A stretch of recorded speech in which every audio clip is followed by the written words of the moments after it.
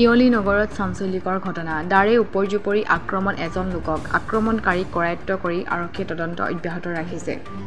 বৃহস্পতিবাৰে দিনৰ দুই বজাত পিয়লি নগৰস্থিত কে বি ইঞ্জিনিয়াৰিঙৰ সন্মুখত দাৰে উপৰ্যুপৰি আক্ৰমণ পাখনা ওৰাং আঠাইছ বছৰ নামৰ এজন লোকক।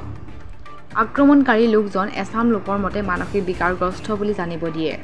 সংকটজনক অৱস্থাত পাখনা ওৰাঙক উন্নত চিকিৎসাৰ বাবে ডিব্ৰুগড়স্থিত অসম চিকিৎসা মহাবিদ্যালয়লৈ প্ৰেৰণ কৰে আৰক্ষীয়ে আৰু আক্ৰমণকাৰীজনক কৰায়ত্ব কৰি আৰক্ষীয়ে তদন্ত অব্যাহত ৰাখিছে।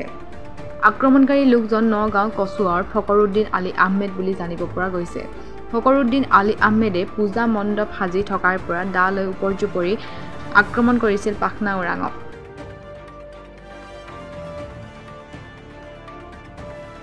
মই কামৰ পৰা আহিছিলোঁ মোক পাছফালৰ পৰা মোক দাউতে দাউ দি এই কামৰ পৰা ঘৰত গৈছিলে। ঘৰ গৈ ভাত পানী খাই আহিলে টাউনলৈ গৈছিলে।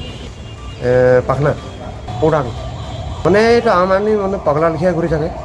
ক'ত হ'ল ঘটনাটো? ঘটনাটো ইছলামগলী ওচৰতে হৈছে। মেডিকেল মানে হস্পিটেল আনিছে এতিয়া অলপ বেণ্ডেজ চেণ্ডেজ হৈছে। আকৌ এতিয়া অঞ্জলি দিব এতিয়া মানে ডিব্ৰুগড় পঠিয়াম বুলি কৈছে।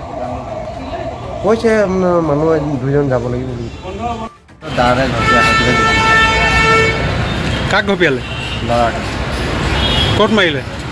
ইয়াত ঘপিয়াবলৈ দেখিলোঁ এবাৰহে দেখিছোঁ। আৰু তাৰপিছত এতিয়া পুলিচে ধৰিছে? এতিয়া ধৰিছে ধৰি আনিলে কৈছে